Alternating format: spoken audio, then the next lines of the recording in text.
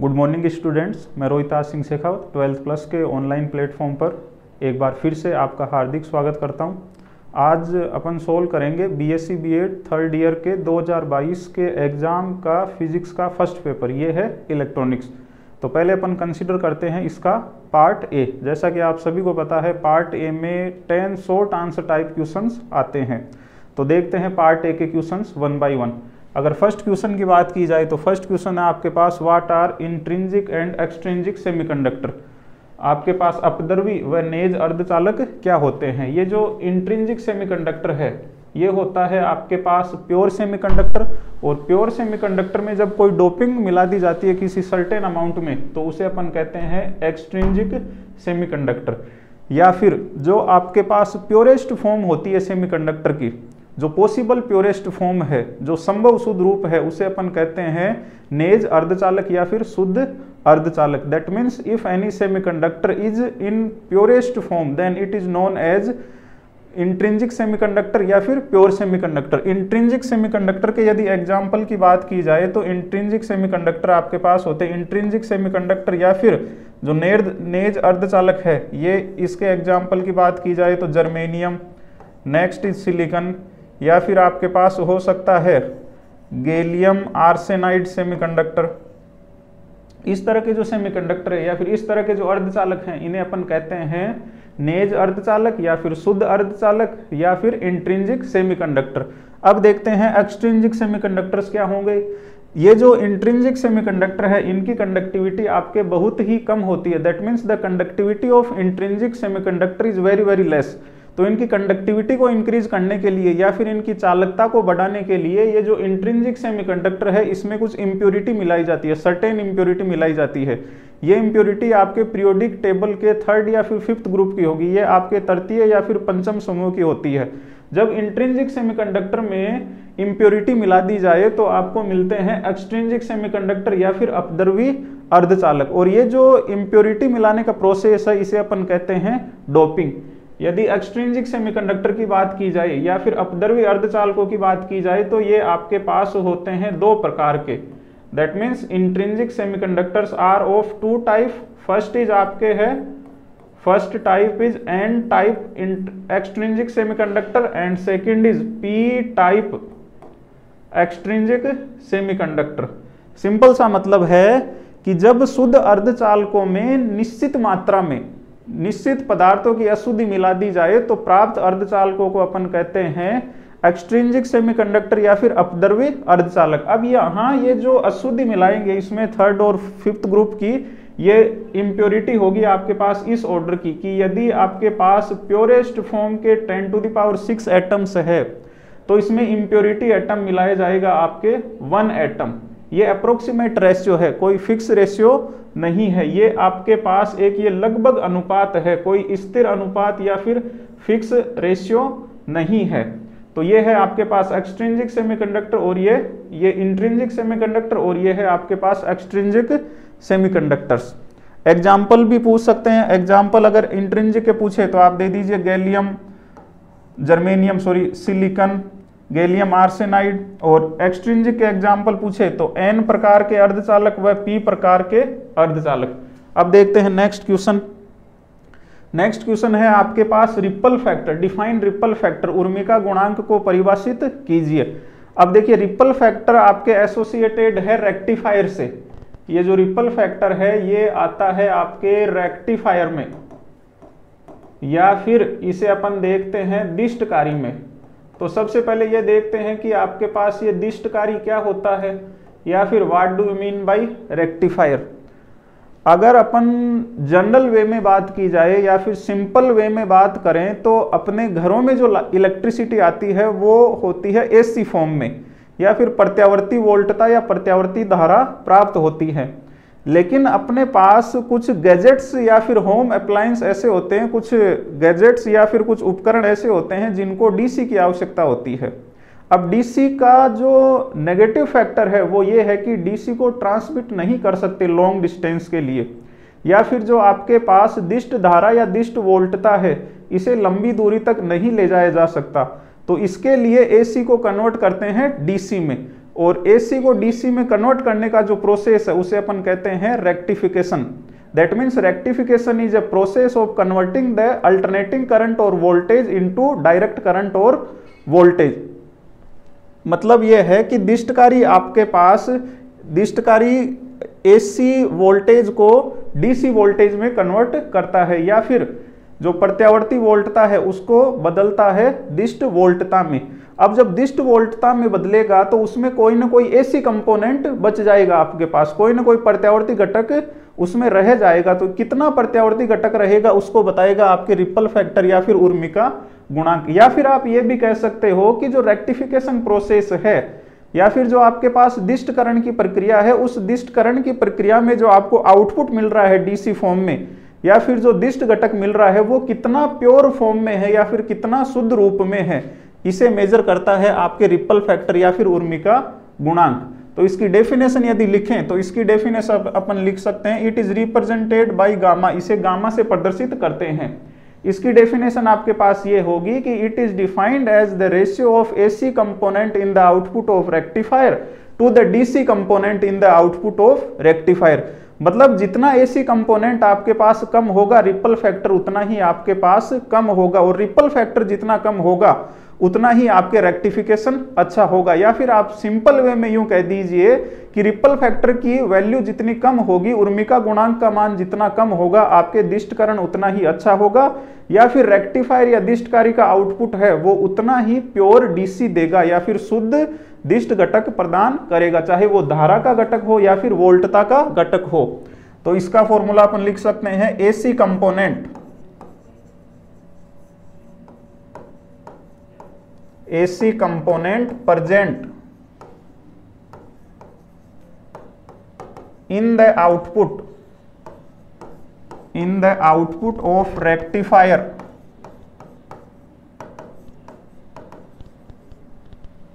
to the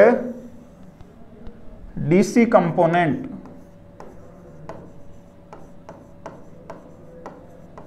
to the DC component present in the in the output.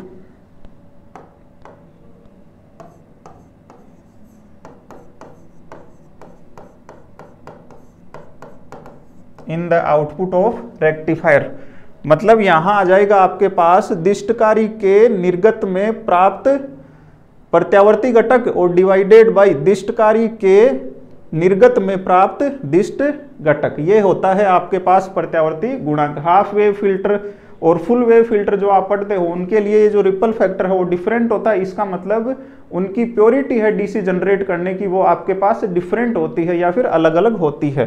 अब देखते हैं next question next question है आपके पास स्टेट द थेवेनिन्स थ्योरम या फिर थेवेनिन प्रमेय का कथन दीजिए।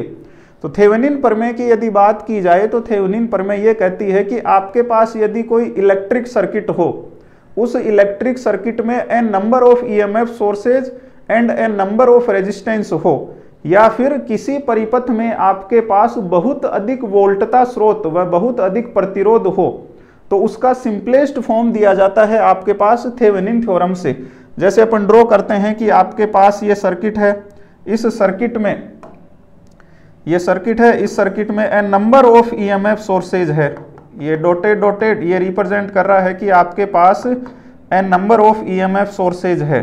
मतलब यहाँ बहुत सी बैटरी लगी हुई है और यहाँ पर आपके ये रेजिस्टेंस है। ये रेजिस्टेंस हो गया आपके पास R one and further series में रेजिस्टेंस है आपके पास ये है रेजिस्टेंस आर टू उसके बाद यहाँ एक रेजिस्टेंस ये कंसिडर कर लेते हैं। ये रेजिस्टेंस है आपके पास R3 और लोड रेजिस्टेंस की बात की जाए तो यहाँ पर ले लेते हैं लोड रेजिस्टेंस जिसको हम डिनोट करते हैं आरएल से। ये है आपके पास लोड रेजिस्टेंस आरएल तो अब ये जो सर्किट है, ये जो परिपथ है, इसमें देखो ईएमएफ e सोर्सेज आपके यहाँ लगे हुए हैं V1 से लेके अप टू ये लार्ज नंबर है यहाँ पर वोल्टेज सोर्स की या फिर ईएमएफ e सोर्स की। ये आपके पास V1 से लेके और कहाँ तक है? Vn तक। और रेजिस्टेंस है यहाँ मल्टीपल रेजिस्टेंस है तो थेवेनिन थ्योरम ये कहती है कि आपके पास ये जो सर्किट है, ये कॉम्प्लिकेटेड सर्किट है, इस कॉम्प्लिकेटेड सर्किट को आप इजीली इस तरह से ड्रॉ कर सकते हो कि आप इसमें केवल और केवल एक बैटरी रख दीजिए। इस बैटरी का जो ईएमएफ है, इसे अपन लिख देते हैं ई नोट या फिर आप चाहो तो इसे लिख दीजिए वी नोट और यहाँ पर इसके सीरीज़ में, इसके सीरीज़ में एक रेजिस्टेंस ये रेजिस्टेंस हो गया इसके सीरीज़ में, और ये आपके लोड रेजिस्टेंस तो यहाँ पर एज इट इज़ रहेगा, और ये आपके पास यहाँ लोड रेजिस्टेंस आर एल और ये जो आर नोट है, ये हुआ आपके रिजल्टेंट रेजिस्टेंस या फिर परिणामी प्रतिरोध। तो देखिए, यहाँ पर आपके पास ये कॉम्प्लिकेटेड सर्किट है। ये जो सर्किट है आपके पास यहाँ ये कॉम्प्लिकेटेड सर्किट है इतना। ये यहाँ से लेके और यहाँ तक का। इस सर्किट को आप सिंपली रिप्लेस कर सकते हो केवल और केवल इस सर्किट से। यही आपके पास थेवेनिन थ्योरम है। मतलब आपके पास किसी टू पोर्ट नेटवर्क में किसी टू पोर्ट नेटवर्क में या फिर टू टर्मिनल नेटवर्क में a number of EMF sources and number of resistance हो तो उनको सिंपली रिप्लेस कर दो ऐसे सर्किट से कि उसमें आपके केवल एक ईएमएफ सोर्स और उसके सीरीज़ में आपके रेजिस्टेंस आर नोट लगा हुआ हो। अब यहाँ देखते हैं कि रेजिस्टेंस आर नोट की वैल्यू कितनी होगी तो रेजिस्टेंस आर नोट की वैल्यू होगी जब आपके ये सर्किट ये ओपन सर्किट होगा और यहाँ पर रिज़ल्ट यहाँ पर रिजल्टेंट जो रेजिस्टेंस है वो कितना आएगा। ये वैल्यू होगी आपके पास आर नोट की और ई नोट की बात की जाए तो ई नोट की वैल्यू होगी जब यहाँ ये सब, ये जितने भी आपके पास सोर्सेज लगे हुए हैं, इन सोर्सेज को रिमूव करके और इनके इंटरनल रेजिस्टेंस है इनको रिप्लेस करके जितना ईएमएफ आता है आपके पास वो होगा आपके यहाँ ई नोट या फिर वी नोट तो ये है आपके पास थेवेनिन थ्योरम अब देखते हैं नेक्स्ट क्वेश्चन नेक्स्ट क्वेश्चन है डिफाइन स्टेबिलिटी फैक्टर या फिर स्थायित्व गुणांक की परिभाषा दीजिए। तो सबसे पहले तो ये कि स्टेबिलिटी फैक्टर किसके लिए डिफाइन करते हैं? तो स्टेबिलिटी फैक्टर या फिर जो स्थायित्व गुणांक है, ये डिफाइन करते हैं ट्रांजिस्टर के लिए। ये आपके ट्रांजिस्टर के लिए डिफाइन किया जाता है और किसी ट्रांजिस्टर का जो स्टेबिलिटी फैक्टर है, वो इस ट्रांजिस्टर की वर्किंग एफिशिएंसी को रिप्रेजेंट करता है। यदि किसी ट्रांजिस्टर का स्टेबिलिटी फैक्टर आपके पास लिस्ट है तो उसकी वर्किंग एफिशिएंसी आपके पास हाई होगी। मतलब किसी ट्रांजिस्टर के लिए यदि स्थायित्व तो गुणांक का मान निम्न है तो उस ट्रांजिस्टर की दक्षता आपके पास, यदि किसी ट्रांजिस्टर के लिए स्थायित्व तो गुणांक का मान उच्च है तो उस ट्रांजिस्टर की दक्षता आपके पास निम्न होगी, और स्थायित्व तो गुणांक निम्न है तो उस ट्रांजिस्टर की दक्षता आपके पास उच्च होगी। मतलब स्थायित्व गुणांक आपके पास किसी ट्रांजिस्टर के लिए मिनिमम या फिर न्यूनतम होना चाहिए। अब इसकी डेफिनेशन क्या है? तो डेफिनेशन ये है कि it is defined as the ratio of change in collector current IC IC represents the collector current change in collector current with respect to the ICO ICO is reverse saturation collector current ICO is reverse saturation current collector current और ये कब? जब आपके पास base emitter voltage constant हो, साथ ही साथ यहाँ पर बीटा बीटा रिप्रेजेंट कर रहा है आपके कलेक्टर एमीटर वोल्टेज गेन को, या फिर संग्राहक उत्सर्जक वोल्टता लाभ को। ये दो क्वांटिटी आपके पास नियत होगी तो इनका जो रेशियो आईसीओ और आईसीओ का जो अनुपात है, इसे अपन कहते हैं स्टेबिलिटी फैक्टर या फिर स्थायित्व गुणांक। यहाँ पर आईसी की बात की जाए तो आईसी है आपके पास कलेक्टर करंट आईसी है कलेक्टर करंट या फिर संग्राहक धारा और आईसीओ है आपके पास reverse saturated reverse saturated current और बीटा की बात की जाए तो बीटा है आपके पास collector emitter. Beta is collector emitter voltage gain. या फिर संग्राहक उत्सर्जक वोल्टता लाभ और वी बी ए है आपके पास base emitter voltage. This is equal to base emitter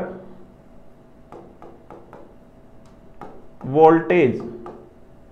या फिर आप कह सकते हो इसे आधार उत्सर्जक वोल्ट था तो ये है आपके पास स्टेबिलिटी फैक्टर या फिर स्थायित्व गुणांक की डेफिनेशन या फिर परिभाषा। नेक्स्ट क्वेश्चन देखते हैं।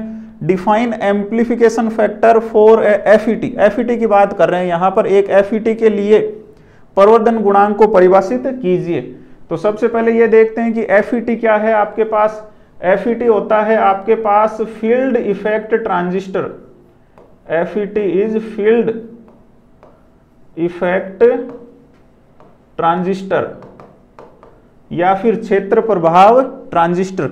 अब एफईटी के लिए एम्प्लीफिकेशन फैक्टर की डेफिनेशन एफईटी के लिए एम्प्लीफिकेशन फैक्टर इस तरह से डिफाइन किया जाता है कि it is defined as the ratio of change in drain source voltage, ये देखिए, ड्रेन सोर्स वोल्टेज, ये चेंज है ड्रेन सोर्स वोल्टेज में, और it is defined as the ratio of change in drain source voltage to the change in gate source voltage at constant drain current ये जो आपके पास प्रवर्धन गुणांक है, ये VDS और VGS में चेंजेज के अनु चेंजेज के अनुपात या फिर रेशियो के बराबर होता है कब? जब आपके पास ड्रेन करंट का मान नियत हो या फिर कांस्टेंट रहे। That means amplification factor is defined as the ratio of change in drain to source voltage to the change in gate to source voltage at constant drain current तो ये है आपके पास एम्प्लीफिकेशन फैक्टर की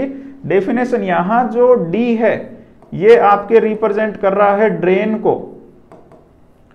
और S है, ये represent कर रहा है आपके सोर्स को। जब एफ़ e पढ़ते हैं तो उसमें ये तीन मेन टर्मिनल्स होते हैं एफ़ e के। First is drain second is source and the third one is gate represented by G drain source and gate और ये जो आईडी है आपके पास, यहाँ पर आईडी है ID is drain current. ID आपके पास होता है ड्रेन करंट या फिर ड्रेन धारा। तो ये था आपके पास एफईटी के लिए एम्प्लीफिकेशन फैक्टर की डेफिनेशन या फिर एफईटी के लिए प्रवर्धन गुणांक की परिभाषा। अब देखते हैं नेक्स्ट क्वेश्चन क्या है। What do you mean by distortion in amplifier या फिर प्रवर्धक में जो विकृति और विरूपण है, उससे क्या समझते हैं? तो देखिए, जब एम्पलीफिकेशन की प्रोसेस होती है या फिर प्रवर्धन की प्रक्रिया होती है तो उस प्रवर्धन की प्रक्रिया में कुछ अनवांटेड सिग्नल्स या फिर अवांछनीय संकेत है, वो ऐड हो जाते हैं और ये अवांछनीय संकेत अनवांटेड सिग्नल्स ऐड होके जो आउटपुट फॉर्म है, इस आउटपुट फॉर्म में डिस्टरबेंस प्रोड्यूस करते हैं या फिर विक्षोभ उत्पन्न करते हैं। विक्षोभ उत्पन्न करने से जो आउटपुट है, वो आपके इनपुट के सिमिलर करेक्ट नहीं होता। जैसा इनपुट है, वैसा आउटपुट प्राप्त नहीं होता। तो ये जो डिस्टरबेंस है, या फिर अनवांटेड सिग्नल्स है, इन्हें अपन कहते हैं डिस्टोर्शन इन एम्पलीफायर या फिर प्रवर्धक में विकृति, या फिर विरूपण। तो ये अनवांटेड सिग्नल है, कहाँ जनरेट होते हैं? ये एम्पलीफिकेशन की प्रोसेस में, या फिर प्रवर्धन की प्रक्रिया में उत्पन्न होते हैं। और इनका मेन काम यह है कि जो आउटपुट है उसकी फॉर्म को करेक्ट फॉर्म को चेंज कर देना। जो आपके पास निर्गत है, इसके सही रूप को परिवर्तित कर देना। जिस, जैसा अपन इनपुट दिया, उसका जैसा आउटपुट चाह रहे थे, वैसा आउटपुट न मिलकर डिस्टर्ब्ड आउटपुट मिलेगा या फिर निर्गत में विक्षोभ उत्पन्न होंगे। इन विक्षोभों को या फिर ये जो डिस्टर्बेंस इन्हें अपन कहते हैं विकृति या फिर विरूपण। तो अपन लिख सकते हैं शॉर्ट में इसका आंसर कि these are the these are the unwanted signal these are the unwanted signals अवांछनीय संकेत produced in the process of amplification in the process of amplification या फिर जो आपके पास प्रवर्धन की प्रक्रिया है, उस प्रवर्धन की प्रक्रिया में जो अवांछनीय संकेत है, उन्हें अपन कहते हैं डिस्टोर्शन या विकृति या फिर विरूपण। Next question what do you mean by positive feedback धनात्मक पुनर्निवेश से आप क्या समझते हो? तो सबसे पहले तो अपन ये देखेंगे कि फीडबैक क्या होता है। या फिर ये जो शब्द है आपके पास, पुनर्निवेश, इसका क्या मतलब होता है? फीडबैक का सिंपल सा मीनिंग ये है कि आउटपुट सिग्नल का कुछ पार्ट वापस कनेक्ट कर देना इनपुट सिग्नल में, या फिर जो आपको निर्गत मिल रहा है, उस निर्गत संकेत का कुछ भाग यदि आप वापस निवेशी संकेत से जोड़ देते हो तो इस प्रक्रिया को अपन कहते हैं फीडबैक या फिर पुनर्निवेश।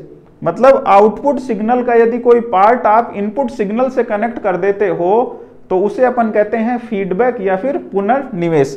Feedback is of two types पुनर्निवेश आपके दो प्रकार का होता है। First one is positive feedback धनात्मक पुनर्निवेश and the second is negative feedback या फिर ऋणात्मक पुनर्निवेश। अब यहाँ पूछा है कि पॉजिटिव फीडबैक का मतलब क्या होता है। तो ये जो फीडबैक वगैरह अपन देते हैं, ये देते हैं एम्पलीफिकेशन प्रोसेस में या फिर एम्पलीफायर में। तो यहाँ कंसिडर करते हैं कि आपके पास एक ये एम्पलीफायर है। ये एम्पलीफायर है और यहाँ पर आपके पास एक ये इनपुट सिग्नल है। इनपुट सिग्नल आपके पास कुछ इस फॉर्म का है। ये देखिए, ये इनपुट सिग्नल आप यूँ कह सकते हो कि इसकी फॉर्म आपके पास है एसी ये पॉजिटिव साइकिल और यहाँ पर ये है आपके पास नेगेटिव साइकिल जब एम्प्लीफिकेशन की प्रोसेस होती है या फिर प्रवर्धन की प्रक्रिया होती है तो इस प्रवर्धन की प्रक्रिया में भी आपके ये इनपुट सिग्नल है, इसका फ़ेज़ 180 डिग्री से चेंज हो जाता है।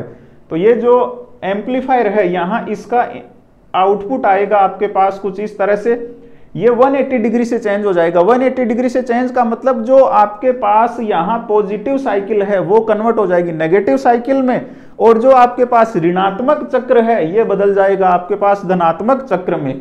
तो यहाँ पर आपके पास था इनपुट यहाँ पर यह है आपके पास इनपुट या फिर निवेशी। अब जब एम्पलीफायर इसको प्रोसेस करके देगा तो आपको मिलेगा आउटपुट कुछ इस तरह से। ये देखिए, ये पॉजिटिव साइकिल आपके पास कन्वर्ट हो गई यहाँ पर नेगेटिव साइकिल में और नेगेटिव साइकिल कन्वर्ट हो गई आपके पास पॉजिटिव साइकिल में। ये इसका फंडामेंटल इनपुट है, ये मूल निवेश है। लेकिन जब एम्पलीफिकेशन होगा तो यहाँ पर ये आई है आपके negative cycle and this is positive cycle अब देखते हैं, अब, अभी तक यहाँ फीडबैक नहीं है, अभी तक यहाँ पर आउटपुट का कोई भी पार्ट इनपुट में नहीं जा रहा है। अब देते हैं फीडबैक ये देखिए, ये यहाँ पर दे दिया आपके पास, यहाँ ये पार्ट है आपके आउटपुट का। अब यही पार्ट यदि यहाँ दे देंगे तो आपके फ़ेज़ चेंज है। ये इनपुट की फ़ेज़ आपके पहले प्लस साइकिल है, फिर उसके बाद आपके पास माइनस साइकिल है, यहाँ पहले नेगेटिव साइकिल है, उसके बाद पॉजिटिव साइकिल है।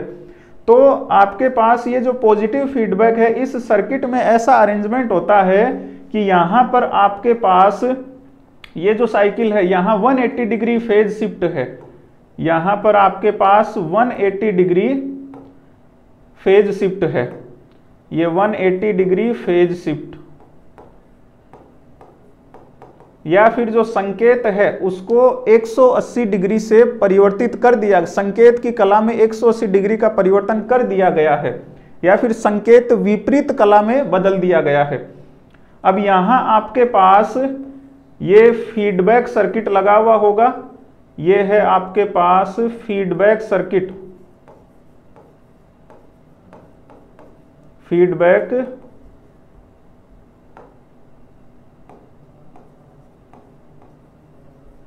सर्किट या फिर पुनर्निवेशी परिपथ। अब देखिए, पुनर्निवेशी परिपथ में आपके पास ये इस तरह का इनपुट जाएगा।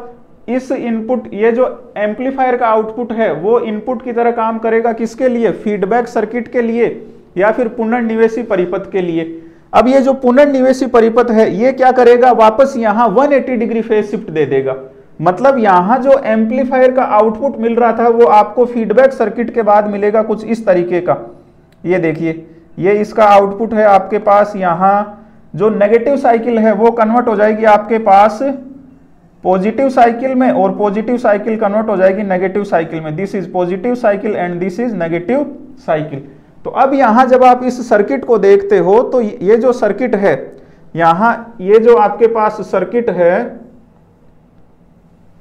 इस सर्किट में देखिए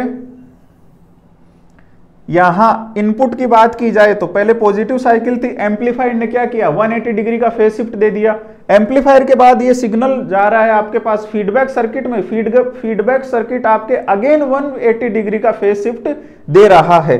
यहाँ ये जो फीडबैक सर्किट है, ये फीडबैक सर्किट आपके प्रोवाइड कर रहा है 180 डिग्री फ़ेज़ शिफ्ट या फिर यूँ कह सकते हैं कि ये जो पुनर्निवेशी परिपथ है, ये पुनर्निवेशी परिपथ संकेत की कला को विपरीत कर रहा है यहाँ पर। तो अब यदि फीडबैक के इनपुट की बात की जाए, ये यहाँ फीडबैक का इनपुट जा रहा है। ये आपके पास फंडामेंटल इनपुट है। इन दोनों सिग्नल्स को यदि देखते हैं तो ये आपके पास सेम फ़ेज़ में है या फिर समान कला में है। तो इस तरह का जो फीडबैक होता है, इसे अपन कहते हैं पॉजिटिव फीडबैक या फिर धनात्मक पुनर्निवेश। क्लियर है? अब धनात्मक पुनर्निवेश हो रहा है तो यहाँ क्या होगा? यहाँ पर आपके पास जो एम्पलीट्यूड आएगा आउटपुट में, उस एम्पलीट्यूड की वैल्यू इंक्रीज होगी। क्यों? क्योंकि यहाँ फंडामेंटल इनपुट सिग्नल जो मूल निवेश, निवेशी संकेत है वो, और जो फीडबैक सर्किट का आउटपुट है, जो आपके पुनर्निवेशी परिपथ का निर्गत है, वो समान कला में है। इसलिए जो रिजल्टेंट एम्पलीट्यूड मिलेगा, जो परिणामी आयाम मिलेगा, उसकी वैल्यू इंक्रीज होगी या फिर उसका मान बढ़ जाएगा। तो ये है आपके पास पॉजिटिव फीडबैक सिंपल वे में आप इस तरह से भी डिफाइन कर सकते हो कि in the positive feedback the fundamental input as well as well as the output of feedback circuit are in same phase या फिर जो धनात्मक पुनर्निवेशन होता है, इसमें मूल निवेशी संकेत वह पुनर्निवेशी परिपथ का जो निर्गत है, वो समान कला में होते हैं तो जो आपके परिणामी निर्गत है, उसका आयाम बढ़ जाएगा, या फिर रिजल्टेंट सिग्नल है, उसका एम्पलीट्यूड आपके इंक्रीज हो जाएगा। ये है पॉजिटिव फीडबैक नेक्स्ट क्वेश्चन देखते हैं। Next question give the difference between voltage feedback and current feedback वोल्टता पुनर्निवेश व धारा पुनर्निवेश में अंतर बताए। बहुत ही सिंपल सा क्वेश्चन है।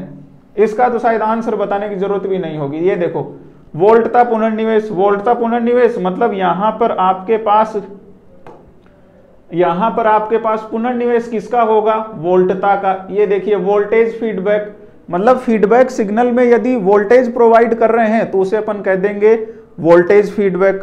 और करंट प्रोवाइड कर रहे हैं तो उसे अपन कह देंगे करंट फीडबैक या फिर धारा पुनर्निवेश। सिंपल सा क्वेश्चन है ये तो। पुनर्निवेश यदि आता है आपको, फीडबैक से आप परिचित हो तो इजीली आप इस क्वेश्चन का आंसर दे सकते हो कि यदि आपके पास धारा का कुछ अंश दिया जाए पुनर्निवेशी परिपथ से तो ये होगा आपके धारा पुनर्निवेश। और यदि वोल्टता का कुछ अंश दिया जाए तो वो होगा आपके वोल्टता पुनर्निवेश। मतलब करंट का कोई part as a feedback signal दिया जाए तो वो होगा आपके पास current feedback similarly if we provide some part of output voltage for the feedback then it is known as voltage feedback clear होगा ये?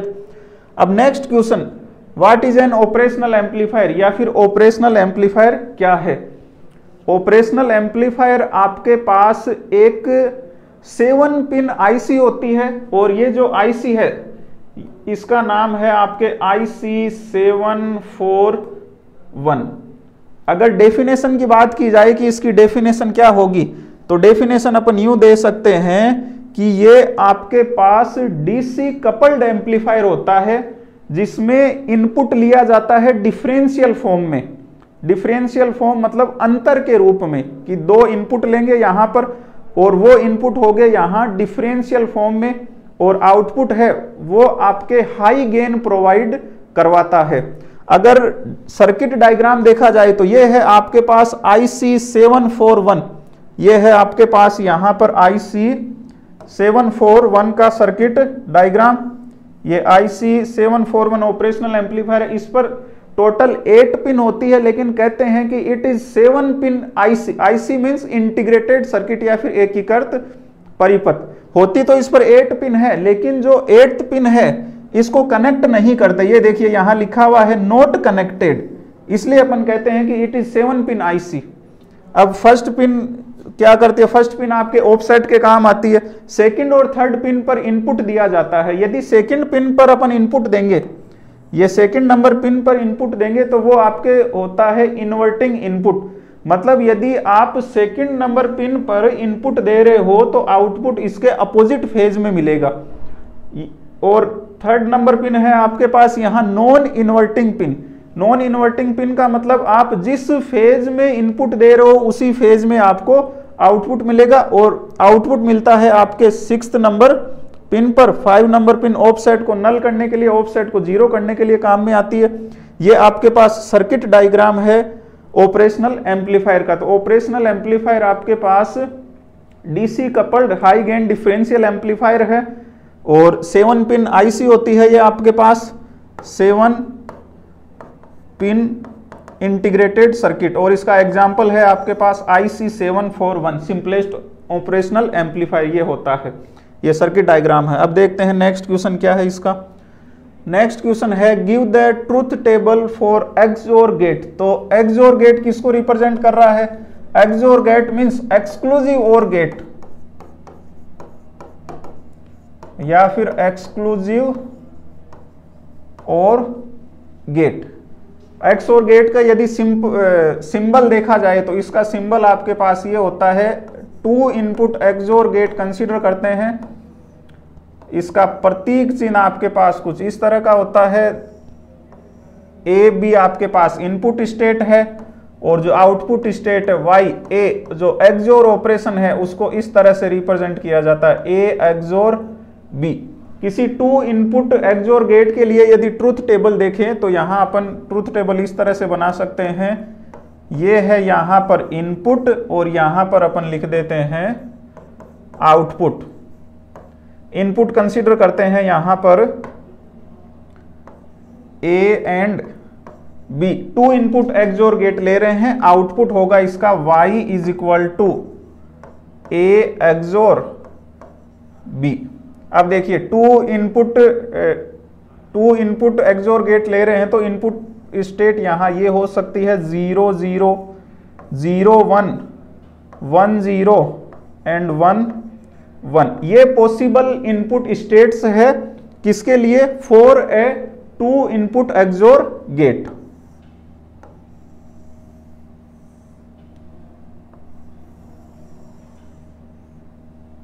अब देखते हैं आउटपुट क्या होगा। तो यदि ज़ीरो ज़ीरो दैट मीन्स दोनों इनपुट स्टेट आपके पास लो हो, दोनों निवेशी अवस्थाएँ आपके पास निम्न हो तो इसका आउटपुट होगा आपके पास लो या फिर ज़ीरो यहाँ पर एक स्टेट हाई है तो आउटपुट होगा इसका वन यहाँ पर भी एक स्टेट हाई है तो आउटपुट वन यहाँ पर दोनों स्टेट हाई है तो इसका आउटपुट होगा आपके पास ज़ीरो अब देखिए क्या मीनिंग है इसका?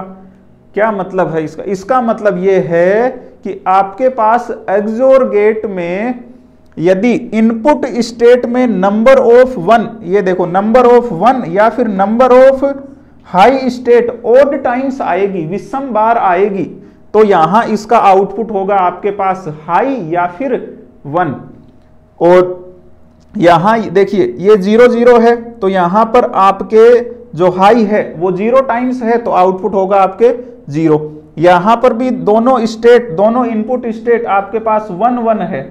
इसका मतलब यह है कि दोनों इनपुट स्टेट आपके इवन टाइम्स है। टू टाइम्स आ रही है, यहाँ पर हाई स्टेट दो बार आ रही है तो ये सम संख्या में आ रही है।